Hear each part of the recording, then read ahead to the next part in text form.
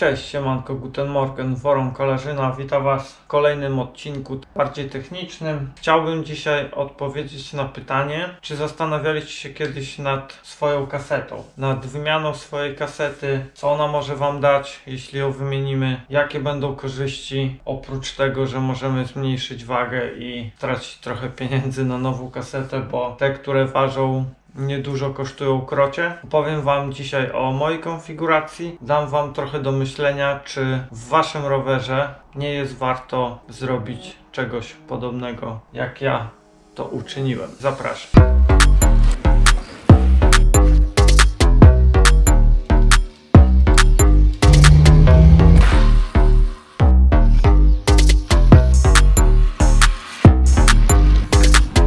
Jeżdżąc na standardowych e, kasetach, które e, daje nam producent do nowych rowerów. E, zawsze irytowało mnie to, że przy zmianie biegów, gdy nie mogłem dopasować do siebie odpowiedniego przełożenia, wiązało się to z tym, że zawsze był problem z, doboru, z doborem kadencji. Mając się takiej standardowej, szosowej kadencji 90 obrotów na minutę, przy zmianie biegów i chęci zwiększenia swojej prędkości zawsze gdzieś tam było to, że może nie tyle co braki fizyczne, żeby dokręcić do znowu 90 obrotów na minutę przy kolejnym biegu, ale to, że te skoki przełożeń były bardzo, bardzo duże i w moim przypadku zabierały mi trochę przyjemności z jazdy. Jak się okazało, na to e, kaseta juniorska, ale z drugiej strony większość z Was, którzy oglądają mój kanał i śledzą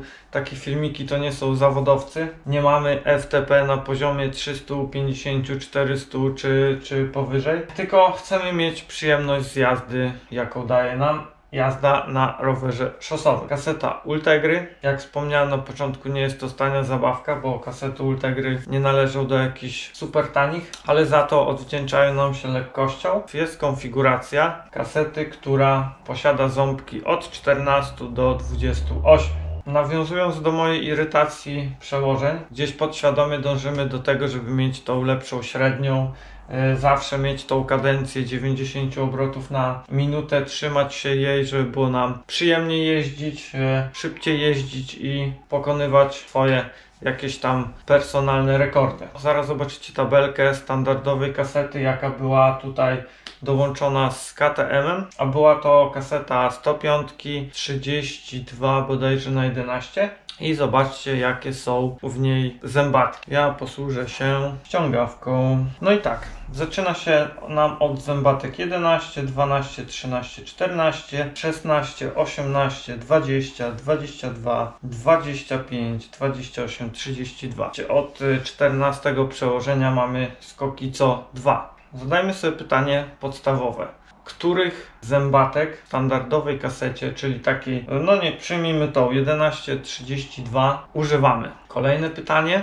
jakie prędkości osiągamy na naszych treningach, ustawkach, jeśli się nie ścigamy, nie jesteśmy jakimiś tam wyczynowymi, wyczynowymi, wyczynowymi, jeśli nie jesteśmy mm, aktywnymi e, ścigaczami jakimiś tam uczestnikami wyścigów. Sprawdźcie sobie na waszych statystykach e, Strava czy tam inne wasze aplikacje, jakie używacie, jakie prędkości maksymalne używa, e, osiągacie i to jak długo jeździcie z tymi prędkościami. Nawiązując e, do pierwszego pytania, jakie zębatki używacie, przygotowując się do tego odcinka, postanowiłem przez kilka przejazdów nie czyścić kasety i pokazać Wam to na moim przykładzie, jak to wygląda z tym, które przełożenia ja osobiście używam. A jak to sprawdzić? Najprościej tak jak w moim przypadku, no nie musicie czekać aż tysiące kilometrów, bo e, każdy używa innego smarowania łańcucha i w różnym stopniu kaseta się nam brudzi i najprościej jest to zobaczyć, które ząbki najbardziej nam się zabrudziły przez smar z łańcucha, co da nam odpowiedź na to, jakich przełożeń używamy. Jak widzicie u mnie każda zębatka jest praktycznie w takim samym stopniu zabrudzona. co daje nam odpowiedź na pierwsze pytanie, jakie było, jakich zębatek używamy w Twojej konfiguracji kasety. No w moim przypadku jest to kaseta przemyślana, bo zaczyna się od 14 ząbków, kończy się na 32 i zaraz zobaczycie jak moja kaseta jest zestopniowana. Tylko, że u mnie jest ten taki mały myk, że ostatnią koronkę, w sumie trzy ostatnie koronki, które grupie 105 i Ultegry są trzy, zamieniłem na taką, gdzie mam opcję 32-25. Tu ja mam słabą nogę i potrzebuję więcej ząbków, żeby podjeżdżać pod górki, więc taką konfigurację sobie dostroiłem. Kasetę która posiada od 14 ząbków zwyż, możemy kupić w konfiguracji 14-28. A jeśli mamy już 105 na przykład, Tegrę, kasetę starą, możemy sobie mieszać praktycznie do woli, nie zapominając o tym, że kaseta ta składa się z dwóch pajączków. Jeden, który jest z trzech koronek, drugi z dwóch, no i reszta mamy pojedynczy, czyli możemy sobie dobierać opcjonalnie koronki tak jak nam to pasuje. Odpowiedzmy sobie teraz na kolejne pytanie, z jakimi prędkościami jeździmy. Pokażę Wam wykres z mojego wczorajszego wypadu, gdzie tam zrobiłem chyba 66 km, ale były duże górki i była możliwość rozpędzenia się do większych prędkości. Kiedy my, amatorzy, mamy okazję wjechać na jakąś górkę i chcemy z niej zjechać, to raczej nie mamy w tym momencie za dużo motywacji i siły do tego, żeby kręcić e, tej górki jak największe prędkości, bo w tym momencie bardziej myślimy o tym, żeby się zregenerować i dojechać do celu, niż to, żeby kręcić na przykład prędkości 60 na godzinę. Moja idea tej konfiguracji przełożeń jest taka właśnie, że ja wolę mieć więcej tych możliwości przełożenia, czyli ja to nazywam półbiegów, bo tak jak e, przed chwilą Wam pokazywałem, że kaseta 1132 zaczyna się od 14 ząbka co dwa, czyli można powiedzieć, że wyrzucając 11, 12, 13 dorzucamy półbiegi do tej kasety. Najprościej będzie wytłumaczyć przy zębatce 11, czyli tej najmniejszej i 90 obrotów na minutę korbą, jedziemy z prędkością 52 na godzinę. Żeby jechać z taką prędkością po prostej, no to trzeba być naprawdę przekozakiem, żeby wykręcać e, i w ogóle utrzymywać taką prędkość. Jestem w stanie, że tak powiem, taką prędkość osiągnąć na prostej, nie ma problemu, tylko że proste pytanie i odpowiedź. Jak długo jestem w stanie utrzymać taką prędkość? Odpowiedź brzmi króciutko.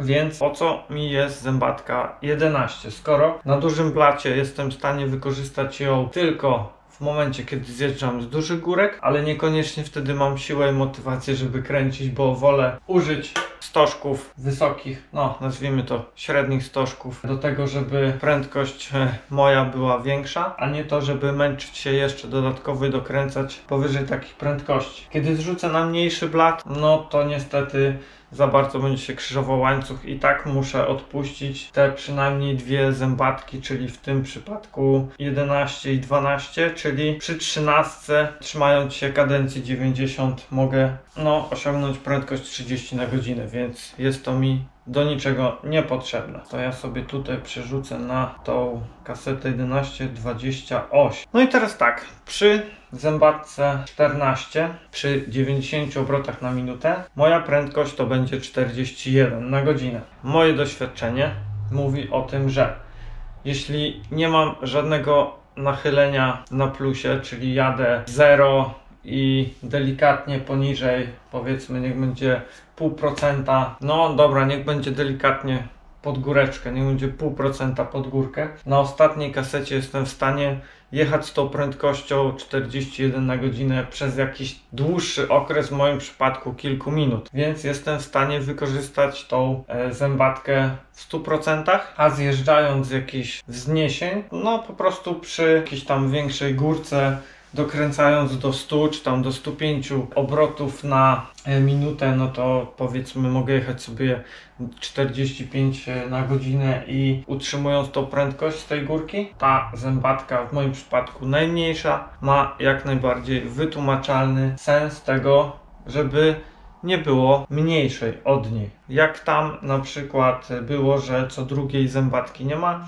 Tu mamy 14, 15, 16, 17, 18, 19, 20, 21 i dopiero ostatni pajączek, ten, który składa się z trzech zębatek, ma przełożenia co dwa. Ostatni, największy 28 o 3. Trzeba wziąć też pod uwagę, że możemy tą kasetę skonfigurować jeszcze ciaśniej i na przykład y, ostatni pajączek zrobić sobie y, zrobić, dokupić ciaśniejszy i mieć na przykład konfigurację bodajże wtedy 22, y, 3 i 5 chyba Jakoś tak, ale jesteśmy w stanie to zrobić, żeby ją jeszcze bardziej zacieśnić. Najważniejszy argument jest tak. Jedziemy sobie na blacie 50 z przodu, z tyłu jedziemy sobie na 20 zębatce i przy 90 obrotach na minutę, jak, widzicie to w tabelce, jedziemy z prędkością 29 km na godzinę.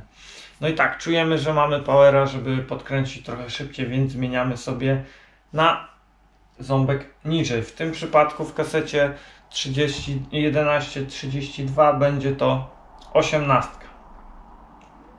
A w kasecie 1428 będzie to 19. I teraz tak, sprawdźmy sobie, jaka będzie różnica w tym, żeby mieć tą samą prędkość, czyli 29 na godzinę po tym jak zrzucimy o ząbek niżej.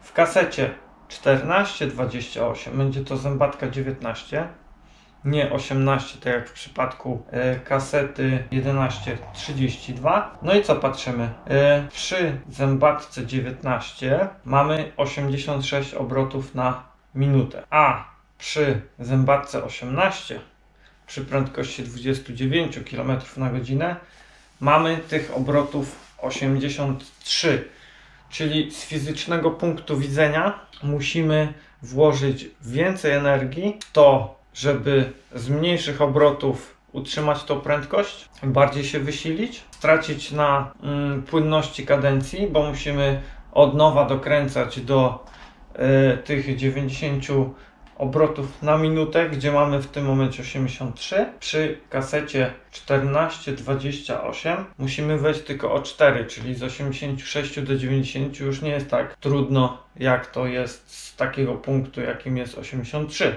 I musicie sobie sami już odpowiedzieć na to pytanie, czy wasza kaseta ma sens, czy kaseta i konfiguracja, której ja używam, nie jest dobrym argumentem do tego, żeby się bardziej rozwijać i wykorzystywać bardziej swoją moc i efektywniej po prostu jeździć na rowerze. Może trochę długo, ale łopatologicznie mniej więcej, chociaż tam tych tam 11, 32, 14, 28 trochę się przewinęło, ale mam nadzieję, że sami sobie już później w aplikacji będziecie w stanie porównać co i jak i stwierdzić, czy naprawdę ma to sens. No i oczywiście sprawdzenia tego na waszej kasecie, których zębatek tak naprawdę używacie i które są wam potrzebne, żeby je po prostu sobie pozmieniać. Zapraszam do klubu Strawa, żeby porównywać nasze wyniki i tworzyć jeszcze większą społeczność szosowców